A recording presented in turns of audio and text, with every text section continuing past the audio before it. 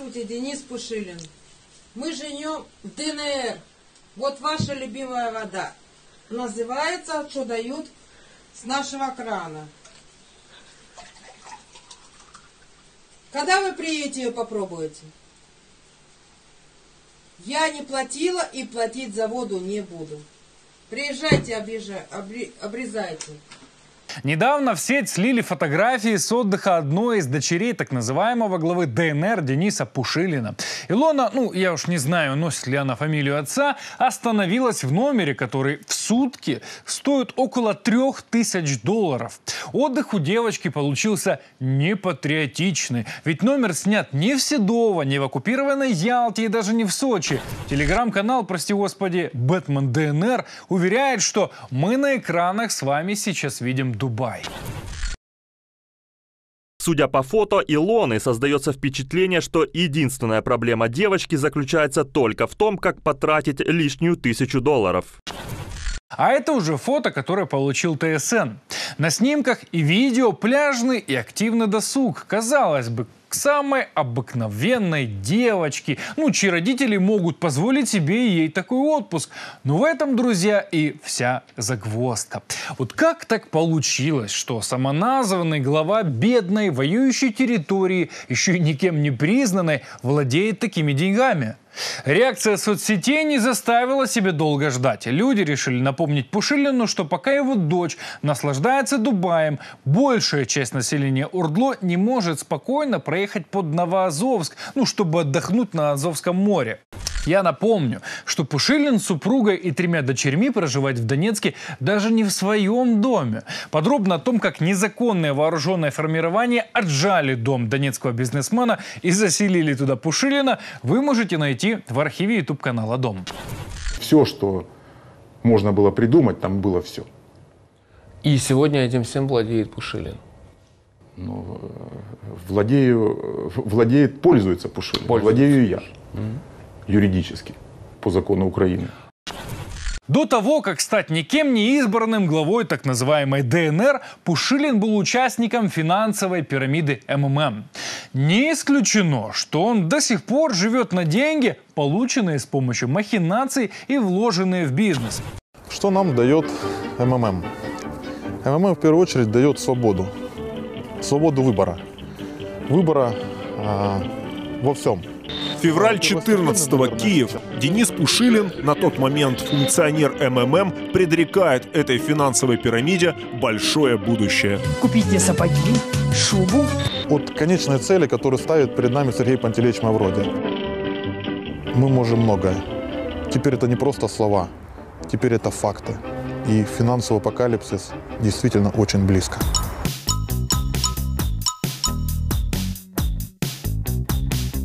Мы партнеры, мы сила, мы семья.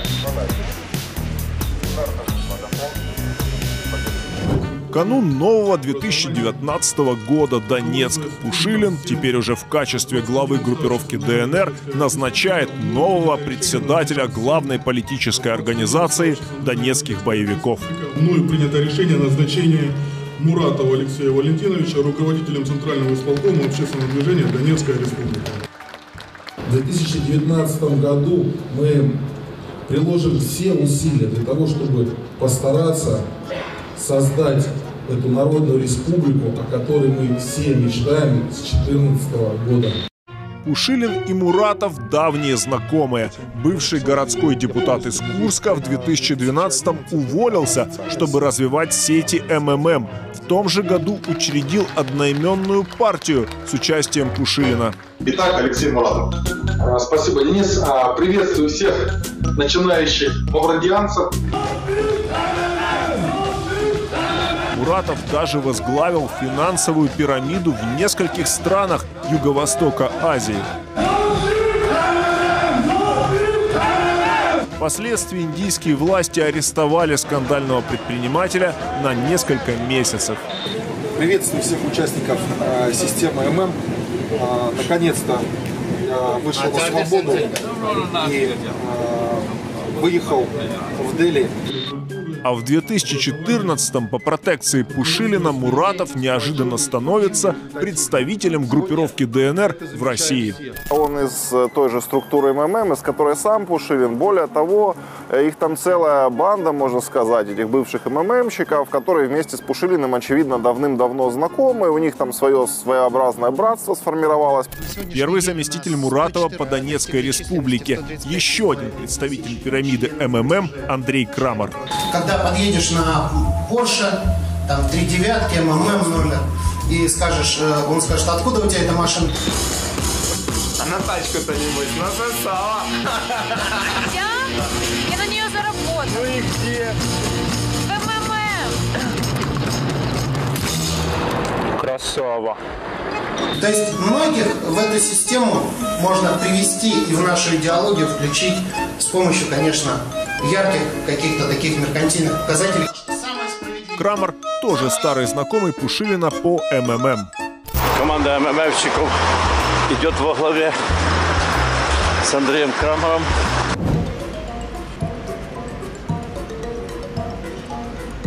Сегодня Пушилин о карьере в МММ предпочитает не вспоминать. В его официальной биографии об этом ни слова. Якобы до появления группировки ДНР работал в некой дистрибьюторской фирме в Макеевке. Хотя еще летом 14-го Пушилин рекламировал МММ из Таиланда. У вас есть возможность сюда приехать и отдохнуть как раз, и снять свои бонусы и за- заодно, кому понравится, остаться здесь на более продолжительное время и включиться работа, в работу с местным населением. Минус 40. Холодно, неуютно. А под землей плюс 12, ну тоже неуютно. Клянусь. Донецких медиа о прошлом нового главаря говорить не принято. Зачем же теперь Пушилин назначает на руководящие посты в группировке ДНР своих бывших коллег по финансовой пирамиде? Понятно, что раз эти люди были в этой структуре, они мыслят именно так, да, они заточены на какое-то получение, на быстрое обогащение, получение денег при минимальных вложениях за счет других. Они нацелены исключительно на наживу и что никаких честных, добрых намерений у них нет. Может быть, участие в финансовых пузырях для бывших МММщиков Муратова, Пушилина и Крамера – дело прошлое. Но оказывается, Алексей Муратов параллельно с работой на структуры боевиков несколько последних лет продвигает собственную криптовалюту – призм. Криптовалюта призм полностью децентрализованное платежное средство. Э, Мы считаем, что сегодня это лучший инструмент а, в мире как платежное средство. И а, в перспективе мы надеемся, что он будет а, основным платежным мировым средством. Дневной объем торгов 15 тысяч долларов – это, в принципе, ничто.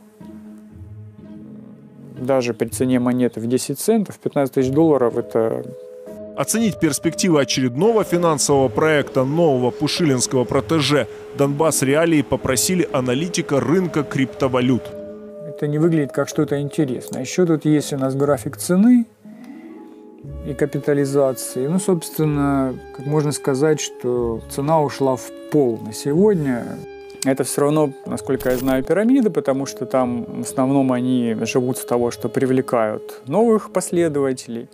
Вот, там какие-то гарантированные вклады, выплаты, там многоступенчатый уровень рефералов. Короче, это такая игра для ребят из, из МММ, знаете, вот для них.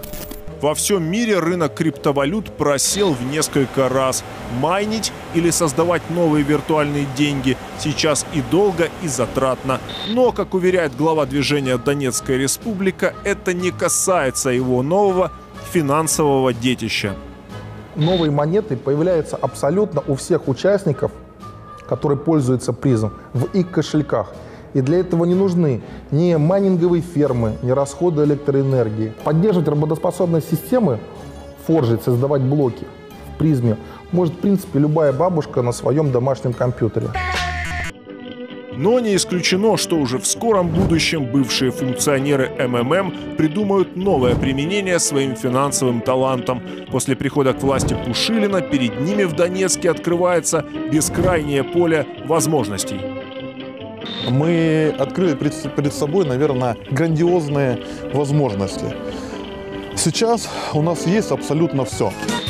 Вот они какие, Голубковы! Орденом за заслуги перед Отечеством первой степени Ушилин Денис Владимирович, временно исполняющий обязанности главы Донецкой Народной Республики. Приемная Пушилина. Вот зашли гости. Ну, приема його нема. Місто Ліман. Діло діле.